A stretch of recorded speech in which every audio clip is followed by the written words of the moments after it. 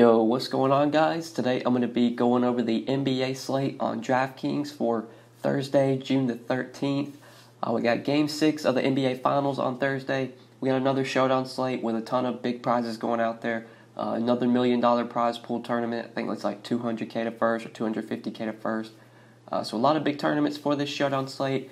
We're going to look at the player pool, make our way through the player pool, start from top, go all the way down till we hit the guys that are going to see minutes. not going to talk about these guys down here at like 1K, 2K because they just don't play any minutes. They don't play enough minutes that you want to roster them. But once we go through all the guys that uh, play minutes and all the guys that are playable, we'll look at some different lineup builds as well. I'll build out a couple lineups, just show you guys where I'm going on this showdown slate.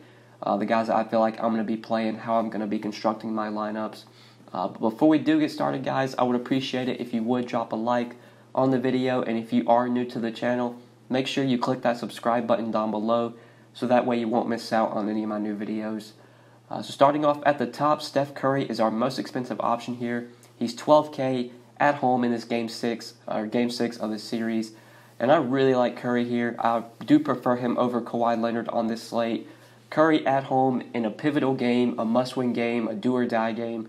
I expect him to play very well. He's going to see massive usage. With Kevin Durant officially done for the season and out for this game, we know the usage is going to be there for Steph Curry. Uh, so I really like him at 12K. He is my favorite spend up option on this slate, and I do slightly prefer him over Kawhi Leonard. Uh, Kawhi is 200 cheaper, and obviously Kawhi has been great throughout this series, but I think Curry gives you more upside in this spot. I think Curry has one of those big games like we saw, I think it was game three or game four. He went for like 72 DraftKings points, just had a monster game. I think we could see one of those games tonight from Steph Curry. Uh, 73 DraftKings points in Game 3, I believe. 47, 8, and 7. Would not be surprised if we see Curry put up like 40 points here. Uh, so I really like him at 12K. Slightly prefer him over Kawhi, but obviously if you can play both of those guys together, makes a ton of sense. Uh, Draymond Green for me on this slate is probably going to be a secondary option, just not a guy that I feel like I have to have at 10,400, especially with him being closely priced to those top two guys. Like Curry and Leonard are just miles ahead above everyone, in my opinion. Draymond just hasn't given you that 55, 60 point upside that you kind of need. Or for him to be like a guy you have to have, he's got to go for like 50 DraftKings points. If he gives you like a 40, 45 point game, he can definitely be a guy that you don't really need to have. Like you could get similar production to, uh, for what Draymond gives you for cheaper. Like I think Klay Thompson outscored Draymond last slate and he was like $2,000 cheaper. Klay had 44 DraftKings points at 8,800. I think Draymond had like 41 DK points at like 10-4. Uh, so I do like Klay, uh, 9,200. I do prefer him over Draymond when you get those $1,200 savings on a slate like this where there's not a ton of great value. Those savings are going to be crucial. Uh, so I do like Klay a lot at 9,200. Prefer him over Draymond for the savings you get. Uh, Pascal Pascal Siakam, not a guy I'm going to a ton. I would much rather play Klay for just 400 more. I'd rather save $800 and play Kyle Lowry um, I do like Kyle Lowry again here, 8K. Uh, last game against the Warriors, he was pretty decent, 37 DraftKings points in 42 minutes. Uh, Lowry continues to play huge minutes. The production is going to be inconsistent. We've seen him go for big games. We've seen him sort of just give you mediocre scores. But if you just look at the guys priced around him, I think it gives you more upside out of a guy like Siakam. Uh, Siakam's $800 more as well. I think it gives you more upside out of a guy like Marc Gasol. Even though Gasol is, Gasol is $1,000 cheaper, I still think I would rather play Lowry at 8K. Uh, so I do like Lowry and Thompson a lot. Those are probably my two favorite like mid-tier plays. And then once you get down here past the mid-range to like the value, well, we'll we'll talk about Gasol and VanVleet. Van Vliet at 6600, not a big fan of. Just don't like the price. He needs to be cheaper for me to really want to roster him. He's getting the minutes, but the production is just so inconsistent. I could get a better score from out of other guys like Boogie could easily outscore VanVleet. Uh, Marc Gasol for 400 more could definitely outscore VanVleet. So, not going to VanVleet. Gasol at 7K, I think it's a pretty good play here. Uh, he did, our DraftKings did raise his price though a lot, up th- up a thousand dollars off at what it, off of what it was the last slate. He was 6K on the last slate and had 30 DraftKings points. He was pretty good at his price tag. Now he's up to 7K, so he's not as good of a play as he was on the last slate. I do prefer like saving and going down to some of these 5K plays because I think I think some of these 5K plays could give you just as much points as Marc Gasol. Uh, Demarcus Cousins is one of them that I really like. Uh, Boogie's definitely a guy I've kind of been just iffy on this whole series. I think this is finally a day where we see a really big boogie game like we saw in uh, game two, I believe it was, where he played 28 minutes and had 37 DraftKings points. I think this is going to be one of those games where Boogie plays about 26, 27 minutes and most likely gives you 35, close to 40 DraftKings points. I really like him now that Kevin Durant is out. Boogie's going to go back to the starting lineup. He's only 5,800 as well. He is dirt cheap. Uh, he looked pretty good even on the limited time he was on the floor last or last game. 20 minutes and 26 DraftKings points. Uh, he did make a couple like crucial mistakes towards the end of the game, which did hurt the Warriors a bit, even though they were able to come out victorious. Uh, but while Boogie was on the floor, he was efficient, he was effective with his 14 or with his stats at least for 14 points, six rebounds and assists, a block and a steal in the 20 minutes that he was on the floor. I think Boogie gets about mid 20s, upper 20s in minutes in this game, and at 5,800, he is one of my favorite cheap plays on this slate. Uh, Serge Ibaka as well, I think is a pretty good value. Ibaka's not playing a ton of minutes, but he's just so efficient and effective when he's on the floor that he is definitely in play as a value. Even last slate, he scored 27 DraftKings points in only 17 minutes. He usually gets about low 20s to like high teens in minutes, so he'll probably get somewhere between 17 or 17 to like 22 minutes, somewhere in that range. Most likely, he's going to give you anywhere from 20 to 30 DraftKings points. Maybe you spark like a 35 point game out of Ibaka. Maybe he gets like four or five blocks, like we saw in game uh, three, I believe it was, and he gets you 28, 30 DraftKings points. But a most likely, uh, most likely uh, score out of Ibaka is going to be like 25 DK points, probably 20 minutes played. And at 5400, that does make some good sense as a value play. Like I would definitely play Ibaka over Kevon Looney. Even if Looney plays, he's just not healthy right now. We saw it last game. He just wasn't really efficient and good when he was on the floor. I would much rather play Ibaka. Much rather play Andre Iguodala. I think Andre Iguodala again is one of the top value plays at just 4,800, especially now that Kevin Durant is out. Uh, Iguodala is going to get more minutes, going to get more usage with Durant off the floor. And even though he was pretty poor from the floor last game, just shot 28% from the field, uh, 30 minutes, still saw 20 or still got 20 DraftKings points in 30 minutes. Uh, he just contributes in so many categories points, rebounds, assists, defensive stats. Iguodala can just do a little bit of everything. So I really like him again on this slate. He's saw his price decrease again. He's down to 4,800. Uh, so he's a top value play for me under 5K.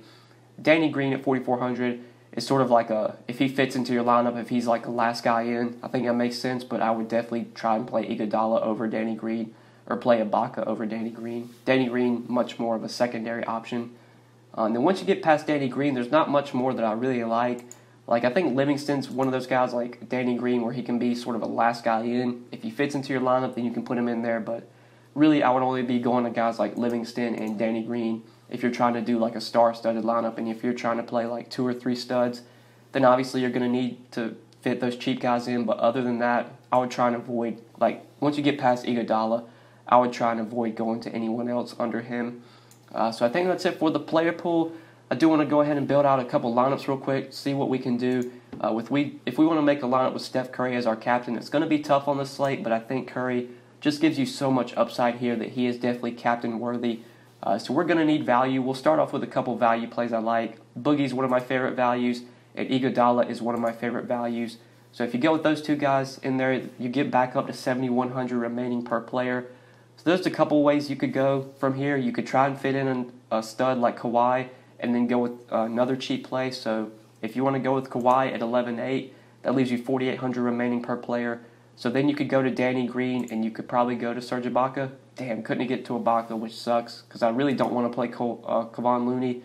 I guess if you go to Livingston at 3,800, that would leave you enough to get up to Ibaka. So that's a build you could do, but I don't really like going to those guys under living or under uh, Iguodala if I don't have to. So I'm going to try and avoid uh, playing guys like Livingston and Danny Green. So maybe let's go with a couple mid-tier plays. I think going to a guy like Kyle Lowry or Klay Thompson, 9,200 for Thompson or 8K for Lowry makes a lot of sense. If we put Lowry in there at 8K, that gives us 6,700 remaining per player. So then you could probably, let's see, if you wanted to play Thompson, that would leave you enough to play Shaun Livingston, which is okay. Or you could go to like Gasol. You could play Gasol at 7K. That would leave you enough for Ibaka, even though I don't really want to play Gasol and Ibaka together. If you put uh, Siakam in there, that'd leave you enough for Danny Green, which is I definitely think fine. That's a route you could go, or you could probably go like uh, Gasol. Then you could probably play like VanVleet and couldn't have enough for Lowry, which sucks. If you want to play Gasol and Siakam together, that'd leave you enough for Serge Ibaka. But like I said, I don't think I want to play all three of those bigs together because they kind of uh, negatively, negatively correlate.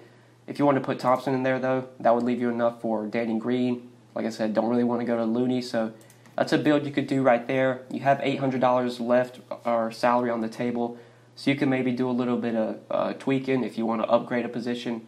Maybe if you want to go from like Thompson to, or they can't upgrade from Thompson, but, or maybe if you want to take out like Iguodala, if you don't think Iguodala is that great of a play, you could upgrade from him, or if you could you could upgrade from Cousins, you could go from Cousins to VanVleet if you want to do that. But I think that's a build I like quite a bit if you want to go that route. Uh, looking for cheap captain plays. There's not really a lot of cheap captain plays that I love. I think Boogie, though, does give you 35, 40 point potential here, and he's only 8,700. So if you were to play him as your captain, you could definitely go with the star studded lineup. You could play Curry and Leonard together. Uh, if you throw in a cheap guy like Iguodala, who I think gives you good a good score at his price tag, that would give you back up, or that would get you back up to 63.50 remaining per player. Um, if you wanted to play another stud, maybe like Klay Thompson, then you could do that. That'd leave you enough for Bogut, but I don't really want to go to Bogut, so let's look at a different route. If you want to go with Lowry at 8K, then that would leave you enough to play Danny Green, so that's a way you could go. Or you could play uh, Gasol, and that would leave you enough to play Ibaka. But like I said, don't want to play Gasol and Ibaka together because I think they kind of negatively correlate. Uh, but going Lowry and uh, Danny Green, I think makes a lot of sense. So that's definitely a build you could look to do. Uh, but like I said at the beginning, I think trying to pay up for captain is the way to go, whether it's Curry or Leonard. I think those are the two guys you probably want to try and jam into your captain slot. And then you go to those cheap plays that I mentioned. Boogie, I really like at 5,800. Ibaka at 5,400, I really like. Iguodala at 4,800, I think is a great value as well. Uh, Cousins, Ibaka, Iguodala, those are the three values that I would probably be going the heaviest on today. Uh, but I think that is it for this showdown slate, guys. I think that is it for the video. Um, hopefully you guys did enjoy this video. Hopefully it helped you. Um, hopefully these videos just throughout the playoffs have helped you. You guys seem to really enjoy them. And I do really like making them. Uh, it's always fun to play these showdown slates, especially during the finals, because it just gives you something to sweat while you watch the game.